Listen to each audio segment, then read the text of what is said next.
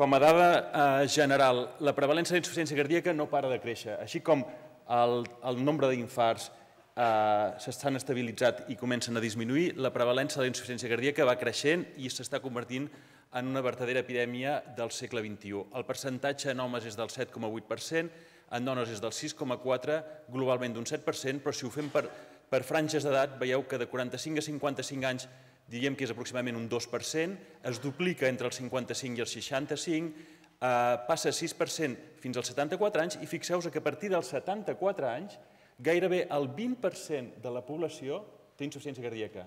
18,7% de la població té insuficiència cardíaca. Això és rellevant o no és rellevant? Bé, si mirem a piràmide d'edats a Europa, el 2004 el pic poblacional eren els baby boomers que estaven entre 40 i 45 anys, les tendències demogràfiques indiquen que no hi haurà major natalitat i que, en canvi, el pic poblacional es trobarà a partir dels 65, 70, 75 anys. És a dir, que ens trobem davant d'una malaltia que afecta a gent gran i ens trobem en una situació en què la nostra societat estarà fonamentalment copada per la gent gran.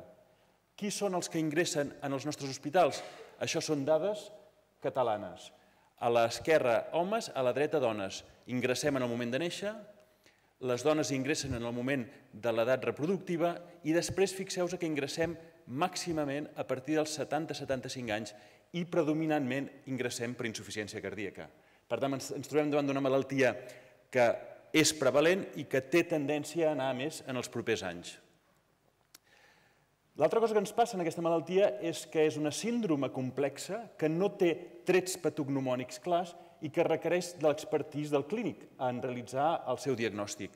I us posaré dos pacients perquè veieu fins a quin punt és eh, complexa arribar al diagnòstic, no tant al diagnòstic, sinó establir el pronòstic d'aquests pacients. El pacient de l'esquerra de color vermell, un home de 65 anys, hipertens, dislipèmic, un infart previ l'any 99, se li va posar un desfibrilador l'any 2005. Normalment, en la nostra aproximació clínica tenim quatre, eh, diguéssim, eh, dades, que són les dades clíniques, l'eco, l'electro i el laboratori. La clínica d'aquest pacient ens diu que està en classe 2-3, té tercer soroll i no té crepitants. L'eco ens diu que té uns diàmetres, uns diàmetres dilatats de 69 mil·límetres, fracció d'ejecció al 16%, al laboratori una hemoglobina 12, filtrat glomerular de 60 i l'electro, com podeu veure aquí baix, és un electron prima sinusal amb un bloqueig de branca esquerra, freqüent amb tots els malalts, eh, amb un percentatge important de malalts amb insuficiència cardíaca. 30-35% dels malalts amb insuficiència cardíaca tenen bloc de branca esquerra. Aquest és el pacient tipus A. El pacient tipus B, que el teniu aquí a la dreta, és un pacient una mica més jove, 58 anys, fumador, no té altres factors de risc, tenia un infart l'any 2006 i van posar-li un DAI. Les quatre variables que disposem, clínica, eco, electro i laboratori. Clínica, està en classe 3. Té un tercer soroll també com abans i no té crepitants. El eh, eco té 73 mil·límetres de diàmetre telediastòlic, fracció d'ejecció al 20%. Laboratori, una mica més bé des del punt de vista de l'anèmia, una mica pitjor des del punt de vista del ronyó. E electro, igual, bloc de branca esquerra. Per tant, tenim un pacient que està una mica més anèmic, però que té el ronyó bé, un pacient que està bé des de l'hemoglobina, el ronyó una mica pitjor, tots dos estan en rima sinusal amb bloc de branca esquerra, tots dos tenen tercer soroll, tots dos tenen fracció d'ejecció severament deprimida. Què fem?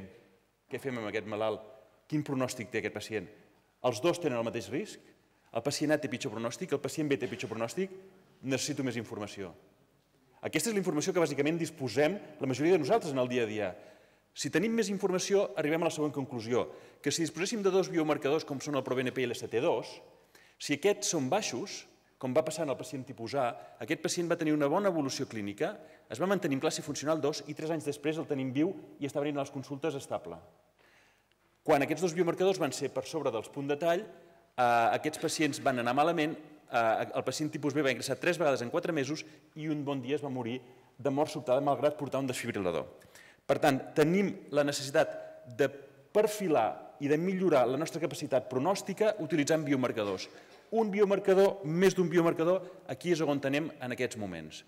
En qualsevol dels casos, el que queda molt clar és que quan utilitzem biomarcadors ja no compta solament l'àrea sota la corba o l'estadístic C, perquè avui en dia sabem que hem de fer eh, anàlisis complexes de discriminació, de calibració i sobretot de reclassificació. És a dir, saber com la incorporació d'un biomarcador em reclassifica un pacient de risc intermedi a risc alt o de risc intermedi a risc baix. Per tant, sempre que haguem de fer anàlisis de biomarcadors i ens posem d'acord entre nosaltres per treballar junts, haurem d'analitzar aquests tres components que us poso aquí.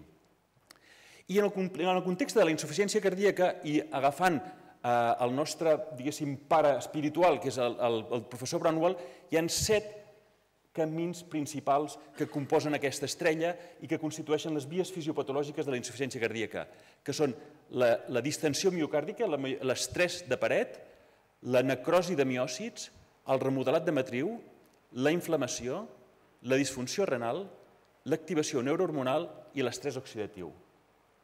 És a dir, d'alguna manera podrem perfilar i millorar la nostra capacitat pronòstica i de personalitzar el nostre pacient com millor coneixem cadascuna d'aquestes set vies que participen en la malaltia i participen perquè la malaltia empitjori.